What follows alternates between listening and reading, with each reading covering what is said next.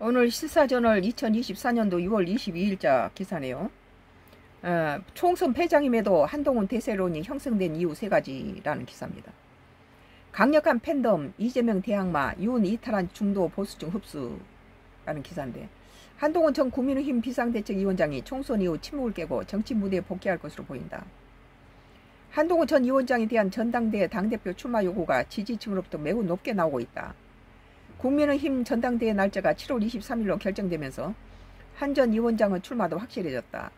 한 전 위원장은 총선 참패 직후 책임을 지고 비대위원장 자리 내, 내려놓은 후 공식적으로 모습을 드러내지 않았다.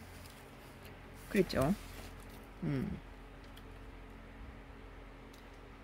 에, 총선에서 함께했던 당직자들이나 몇몇 의원과 식사 자리를 가졌다는 소식이 전해졌을 뿐 그대로 은둔 시간이었다.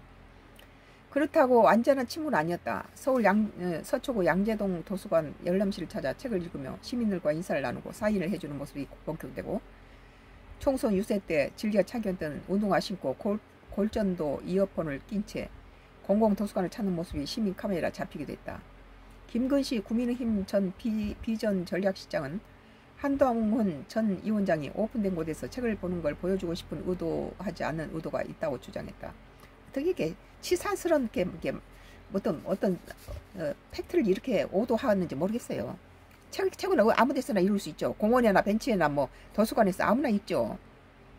한전 위원장의 전당대회 출사표에 대해서 어차, 어, 어대한 어차피 대표는 한동훈이라는 표현까지 등장했지만 반발 또는 만만치 않다. 당내에서 한전 위원장과 가장 크게 대립각을 세운 인물은 이철규 의원이다. 한동훈 전 비대위원장에 대한 검찰 중간 간부에 불과하던 사람. 에, 윤석열 대통령과 제일 가까우신 분이고 오랫동안 함께해왔고 제일 큰 수혜를 받으신 분이라고 말했다. 당 안팎에 한동훈 대세론이 형성되어 있는 것을 어떻게 생각하느냐는 질문받고 그것은 당원들을 모욕하는 말이라며 표심은 아무도 알 수 없다. 일부 언론에서 몰아가는 하나의 프레임이라고 생각하고 선거의 결과는 뚜껑을 열어봐야 한다고 했다. 뭐 바, 반대표도 나올 수 있죠. 뭐 다 다 뭐 좋다고 할 수는 없죠. 그래서 선거가 있는 거고. 뭐 한동훈의 대세론에 대립각을 세우는 친윤계. 어. 어, 그 한전 위원장에 대한 빅데이터 연관어를 보면 윤 대통령은 순서상으로 10위권 내에도 들지 못한다. 그만큼 거리감이 생긴 결과다. 총선 패배에도 솟구친 한동훈 대세로는 현실적인 팬덤 영향력, 이재명의 대표의 대립각, 윤석열, 윤석열 대통령과의 거리감으로 분석된다. 하지만 최상병 특검법과 김건희 여사 수사에 대한 질문 등 한 전 위원장 앞에 놓인 과제는 산더미다. 끝이 아니라 시작이라는 뜻이죠. 오늘 어, 나의 정치 코멘트는 어, 한동훈은 음, 에, 정치적 인물은 아니죠. 에, 정치 경험이 없다는 것이 핸디캡이지만 윤 대통령의 에, 그림자 정도로 어, 보았기 때문에 한동훈에 대한 국민들은 총선 패배 책임을 묻지 않습니다. 어.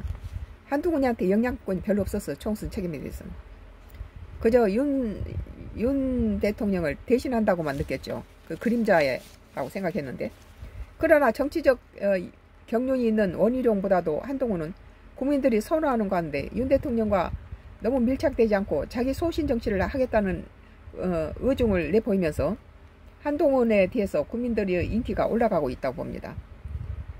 여당 당대표 모두 당대표는로서 다 여당의 당대표로 나오는 뭐 원희룡이라든지 뭐 나경원이라든지 뭐 한동훈이라든지 그 나온 사람들 다 훌륭해요.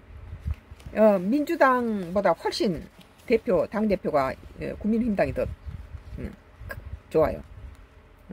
뭐뭐 어, 저 인간적으로도 인격적인 면에도 그렇고 뭐 여러 가지 지, 식이라든지 모든 예, 가치관이라든지 그런 것들이 다 깨끗한 사람들이에요. 이게.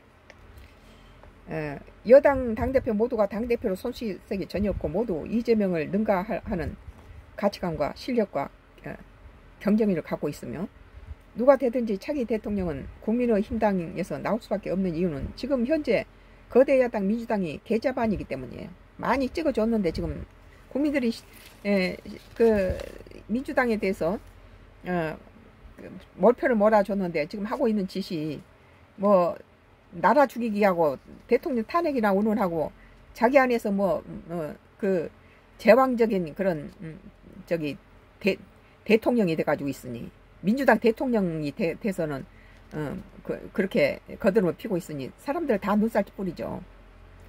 그리고 거기가 민주당의 모든, 다, 에, 원내대표라든지 국회의장 선거에서 보, 여주었듯이 예, 그 저기 저 선거에서도 많이 민주주의가 다 탈색되고 독재주의로 예, 그 이재명이 당이 돼 버렸어요. 그러니까 평생을 민주당을 지지했던 사람이 다, 다 나와버리잖아요. 차라리 국민힘당 밀겠다. 저, 저런 당은 뭐 김정은이하고 다르게 뭐 있나. 북한, 북한 독재주의하고 똑같다 이게 지금.